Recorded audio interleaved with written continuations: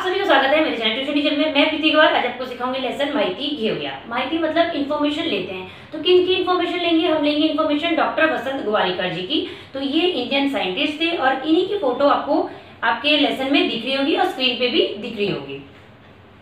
तो इनके बारे में हम पढ़ते हैं। तो पाउस केवा पड़े कितनी पड़े याची देश भर चिंता असते ये देखो, ये बात तो है ना कि बारिश कब होगी, कितनी होगी, ये हर किसी को बोलते ना, देश में चिंता तो लगी रहती है। ही चिंता दूर करण्यासाठी ज्या संशोधनकाने मान्सूनच्या अंदाजाची नवी पद्धत शोधून काढली, त्याचे नाव डॉक्टर वसंत गवारीकर. ठीक है अब जब मैंने आपको इतना तो आपको समझ आया, हम किसके बारे में लेसन पढ़े हैं? डॉक्टर वसंत गवारीकर जी के बारे में पढ़ रहे हैं। तो ये जो चिंता दूर करने का काम था, किसका? कि बारिश कब होगी? कितनी होगी? तो वो काम किसने कर दिया? डॉक्टर वसंत गवारीकर जी ने कर दिया। डॉक्टर वसंत गवारीकर डॉक्टर वसंत गोवारीकरांचा जन्म 25 मार्च एकोणीसशे तेहतीस रोज पुण्यात झाला. तो इनका जो जन्म हुआ था डेट ऑफ़ बर्थ आपको याद रखना है एग्ज़ाम में आएगा ही तो 25 मार्च 1933 कहाँ पे हुआ, पूना में हुआ. शाळेत असताना त्यांच्या नवनव्या कल्पना सुचायचा. यस देखो, अभी आप भी लोग स्कूल में जाते हैं. जैसे वो स्कूल में जाते थे तो उनके दिमाग में ना, कुछ ना कुछ न्यू न्यू आइडियाज़ आते रहते थे.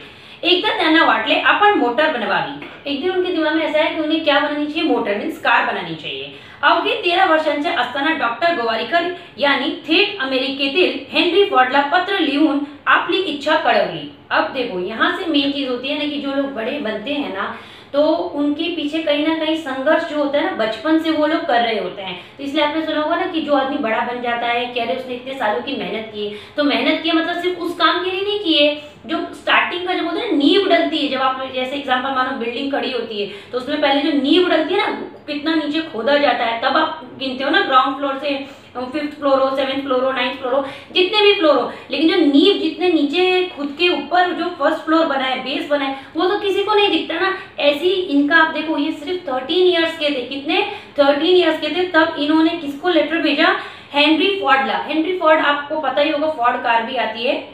वो अमेरिकन इंडस्ट्रीज़ थे, जिनकी बोलते ना फाउंडर थे फॉर्ड कंपनी के, कार के। उन्होंने उनको लेटर लिखा और बोला कि मुझे क्या करना है? मोटर मीन्स कार बनानी है।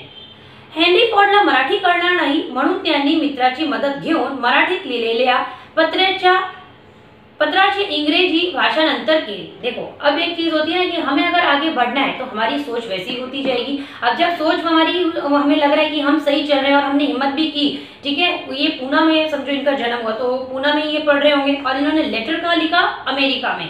ठीक है हेनरी फॉर्ड जी को। अब इनके दिमाग में एक चीज़ और आइडिया आ गया कि अमेरिका बोले तो इंग्लिश हो गया। तो मेरे को ये मराठी में तो मराठी उनको समझ में नहीं आएगी हेनरी फॉर्ड जी को। तो फिर क्या होगा? मेरा काम हो सकता है ना हो, मेरी इच्छाएँ कैसे पूरी होगी? मन में इनके दस कल्पना चल रही होगी। जब कल्पना चलने लगी तो उनको एक सॉल्यूशन आया। इनके दिमाग में ये बात आई कि मैं, मेरे जो उनका कोई फ्रेंड होगा, उनको इंग्लिश आती होगी। तो उन्होंने जो ये मराठी में लेटर लिखा था, उन्होंने उसको ट्रांसलेट करा के इंग्लिश में ट्रांसलेट कराया और हेनरी फॉर्ड जी को सेंड कर दिया। हेनरी फोर्ड ने डॉक्टर गवारीकर यांच्या पत्राची दखल उत्तर ही पाठवली अब देखो मैंने आपको बोला ना जितने बड़े लोग होते हैं ना वो कभी भी ऐसा नहीं सोचते हैं अरे हम बड़े हमारा नाम काफ़ी है हमें इससे क्या मतलब है हम जो अपना काम कर रहे हैं उस पर ध्यान देंगे नहीं ऐसा नहीं है उन्हें लगा कि नहीं अगर मुझे किसी ने लेटर लिखा है तो कुछ ना कुछ बात तो ज़रूर होगी बोलते ना बड़े आदमी तक हर कोई नहीं पहुँच पाता तो उन्होंने उस केस में बोलते हैं नोटिस किया कि मेरा पास किसने मुझे लेटर भेजा है, उन्होंने उसको रीड किया। त्यासोबत काही पुस्तकें ही पाठवली। अब उन्होंने उस लेटर को पढ़ा भी, है ना? और उसके साथ में उसका आंसर भी दिया और साथ के साथ कुछ पुस्तकें मीन्स कुछ बुक्स भी उन्होंने सेंड की। त्यांच्या कुशाग्र बुद्धिमत्तेची आणि दृढ संकल्पाची चुणूक लहानपणीच दिसून आली। अब देखो, ये तो आपको भी समझ में आ गया, तेरह साल का बच्चा अगर अमेरिका में किसी बड़े आदमी को Ford company Henry Ford ji को अगर लेटर लिख रहे हैं, है ना? तो उसमें कितना दिमाग होगा? बहुत ज़्यादा तेज दिमाग होगा। तो इसी इसी चीज़ से हमें पता चल जाता है चुनुक मतलब बोल सकते हो कि बचपन से ही बोलते ना, कि ये बच्चा बड़ा होके, है ना, उसमें झलक नज़र आ रही है, ये आगे जाके बड़ा इंसान बनेगा। कोल्हापूरला पदवी पर्यंतचे शिक्षण झाल्यानंतर उच्च शिक्षणासाठी ते इंग्लंडला गेले अब देखो, उन्होंने कोल्हापुर अपने महाराष्ट्र में ही आता है, ठीक है ना? पदवी पर्यंत मतलब बोल सकते अप टू ग्रेजुएशन तक उन्होंने पढ़ाई की और उसके बाद आगे हायर एजुकेशन के लिए वो कहाँ गए? इंग्लैंड के लिए। ब्रमिंगहम विद्यापीठ त्यांनी रासायनिक अभियांत्रिकी विषयात संशोधन केले बेटा देखो, थोड़े से वर्ड आपको हो सकता है हार्ड लगा रहा है हमें क्या करना है? ऐसे नहीं करना है, क्योंकि आज आप चीज़ें चीज़ें धीरे धीरे सीखते जाओगे, है ना? तब आपको कोई चीज़ हार्ड नहीं लगेगी।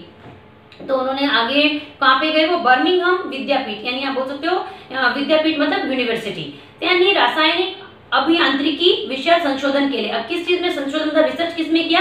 केमिकल इंजिनिअरिंग में, ठीक है? पुढे इंग्लंडच्या ऊर्जा संशोधन केंद्रात संशोधक म्हणून त्यांनी काम केले अब आगे जब वो इंग्लैंड में काम कर रहे थे, उसमें क्या किया उन्होंने? एनर्जी रिसर्च ठीक है? केंद्रात। उन्होंने संशोधन रिसर्चर होके काम करना शुरू किया। विक्रम साराभाई यांच्या आग्रहामुळे एकोणीसशे सदुसष्ट झाली भारताचे अवकाश संशोधन केंद्रात रुजू झाले. अब जो विक्रम साराभाई जी थे उनके कहने पे 1967 में है ना, वो भारत के अवकाश संशोधन केंद्रात आप बोल सकते हो स्पेस रिसर्च सेंटर में हो गए. घन पदार्थातील ऊर्जा या विषयांच्या संशोधनासाठी त्यांच्या पुढाकाराने नवा प्रकल्प सुरू करण्यात आला. अब घन संशोधन आप बोल सकते हो कि जो सॉलिड सब्सटेंस होता है, उसके लिए. भारताच्या विज्ञानात भारताच्या विज्ञान क्षेत्रात त्यांनी केलेली कामगिरी फार मोटी आहे. अब देखो, इससे ज़्यादा आपको हार्ड हार्ड क्या सिखाएँगे? अभी ये लेसन भी आपको क्यों दिया गया बेटा? ताकि ऐसे ऐसे हार्ड वर्ड्स आपको पता चले और आपको, आपकी उम्र के हिसाब से आप समझो कि आप ही की उम्र के होंगे जब इन्होंने इतनी बोलते ना, कल्पना रखी कि उन्हें मोटर कार बनानी है, इसलिए उन्होंने लेटर भी भेजा। फिर उनको ये भी समझ में आया कि हो सकता है उनको वो लैंग्वेज ना समझ में आए। मराठी तो उन्होंने अपने फ्रेंड से हेल्प ली ट्रांसलेट कराया। बाद में कोल्हापुर में स्टडी की। उसके बाद वो इंग्लैंड चले गए। इंग्लैंड के बाद में आगे उन्होंने कहाँ पे ज्वाइन करना शुरू किया काम ऊर्जा संशोधन केंद्र। यानी इसलिए आपको लेटर दिया है, ये लेसन दिया गया है कि आप इस लेसन को अच्छे से समझे, बढ़े और आपके अंदर भी जो कल्पना है, उसको आप पूरी करने की कोशिश करें। तो इसलिए इतना तो आपको समझ में आ गया कि इन्होंने जब इतने इतने सारे काम कर लिए तो इन्होंने और भी बहुत सारे काम किए होंगे। अग्निबाणच्या मोटा करिता घन ईंधन बनवण्याचे तंत्र त्यांनी विकसित केले. अब देखो, अग्निबाणाचा मतलब क्या है? रॉकेट ठीक है? इसमें भी उन्होंने क्या किया? टेक्निक जो थी रॉकेट बनाने की जो टेक्निक थी, उसमें भी कुछ ना कुछ उन्होंने अपना सहयोग दिया, विकसित केले। ठीक है? तो ये जो लेसन है डॉक्टर वसंत गवारीकर जी के ऊपर है तो इसमें दो चार चीज़ें थोड़ी थोड़ी आपको हार्ड लगेंगी। एक तो इनका डेट ऑफ़ बर्थ याद रखना है, और विक्रम साराभाई यांच्या आग्रहामुळे एकोणीसशे सदुसष्ट ये याद रखना है। कहाँ कहाँ उन्होंने काम किया, ये याद रखना है। और आपको भी अगर आपकी कोई कल्पना है कि हमें बड़े होकर ये बनना है तो उसके प्रति आप बोलते ना, कोशिश करते रहिए, एक वक्त पे आके आपका भी नाम कहीं ना कहीं ऊपर तो ज़रूर रोशन होगा। अगर ये लेसन अच्छा लगा हो वीडियो अच्छा लगा हो तो वीडियो को लाइक करिएगा शेयर करिएगा यूट्यूब पे देख रहे हैं तो चैनल को सब्सक्राइब करेगा फेसबुक पे देख रहे हैं तो पेज को फॉलो करिएगा। Thank you